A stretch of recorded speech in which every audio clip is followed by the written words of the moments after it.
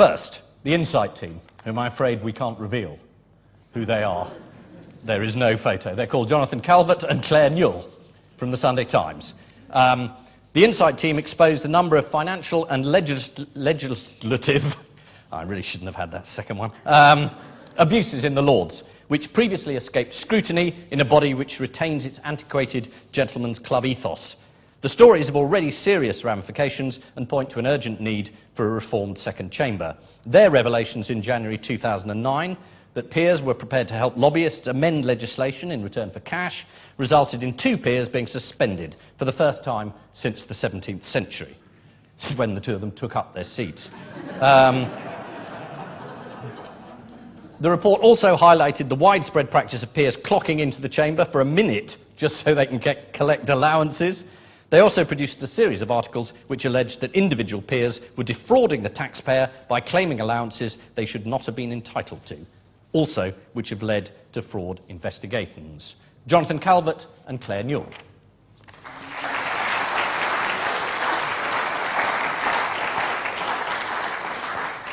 Ian Cobain, who looks like that. Um, he was writing in The Guardian and on Guardian Unlimited, has uncovered a long running investigation into Britain's involvement in the torture of terror suspects detained overseas. Cobain reported on the allegations of British complicity being made by a handful of detainees or their lawyers and was able to locate and highlight the evidence that supported these allegations. He reported on the existence of a secret government-sanctioned interrogation policy that underpinned what MI5 has been doing, a policy that led to suspects being tortured.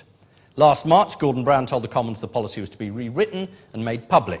And in June 2009, he disclosed that Tony Blair had been aware of this policy? Well, there's a shock.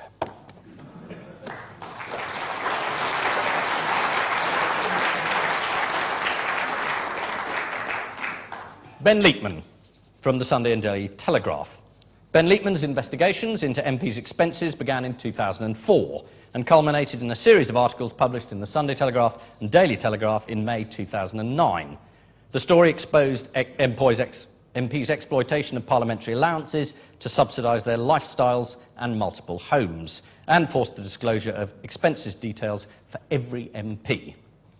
Uh, Leapman's original request was made in January 2005 when the Freedom of Information Act came into force. After repeated refusals and appeals, his case and that of two other journalists, Jonathan Ungoed-Thomas and Heather Brooke, who was shortlisted for this in this prize before, was finally carried to the High Court in May 2008 which ruled in favour of a full disclosure. Ben Leapman.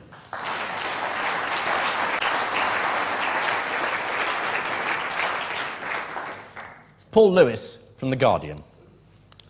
Paul Lewis's investigation into the death of Ian Tomlinson at the G20 protests in the spring established that a police officer had struck Tomlinson with a baton and pushed him to the ground moments before he died near the Bank of England on 1st of April. A key component of the story was a video filmed by a New York hedge fund manager on his digital camera. Yes, let's hear it for those hedges. Uh, incredible guys. Thank goodness he had the time off. Um, anyway, this was published online on Tuesday, the 7th of April, and in print the following day, showing the incident in full. Lewis' investigation relied in equal measure, however, on a reconstruction of Tomlinson's last 30 minutes alive, drawn from oral, photographic and video evidence, which he had tracked down. The testimony of these others was included in a dossier contradicting the police's version of events, which The Guardian submitted to the IPCC.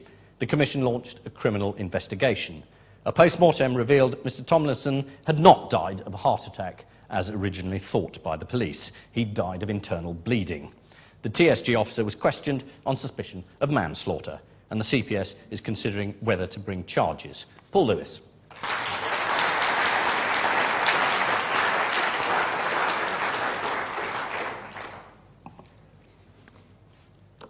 Rob Waugh of the Yorkshire Post, um, for those who think it only happens in the metropolis. Uh, investigative journalism is alive and well outside. Uh, Waugh's exposure of cavalier spending at Leeds Metropolitan University involved examination of thousands of staff credit card statements and a wider investigation into the management culture surrounding the university. He also exposed and discredited the takeover of Sheffield Wednesday Football Club, uncovering links with a money launderer convicted through an FBI sting, a history of debts and a series of highly questionable links with businesses in Europe.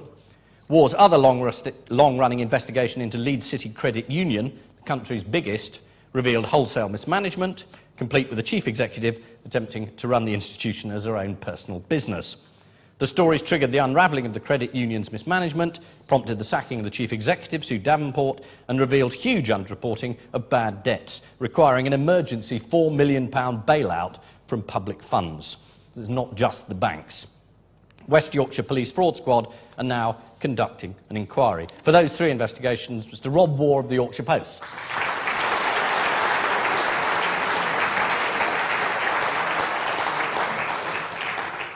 Stephen Wright and Richard Pendlebury from the Daily Mail, which would have been a good laugh to tell Paul.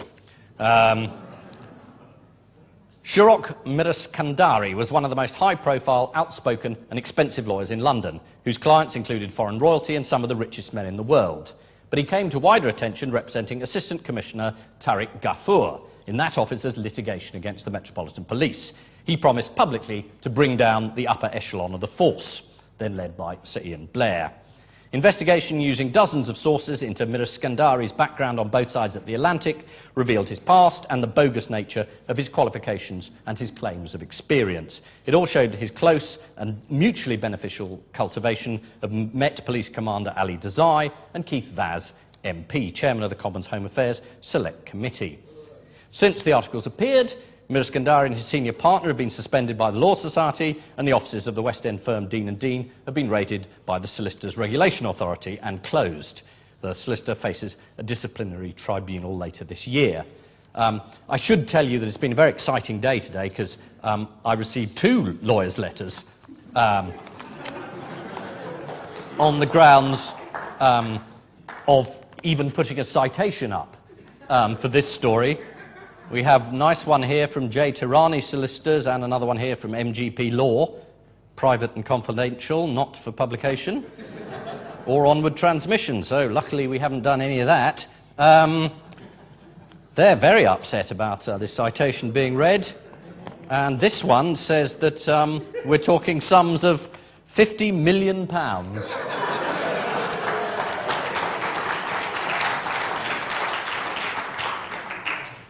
So, there we go. Uh, obviously, we replied to them politely.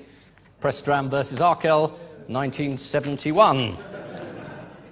Adam will fill you in. Um, so, uh, those are the shortlist, um, a very fine shortlist, and um, it only remains for me to get the winner, and then we'll all come up and get your cheques. So,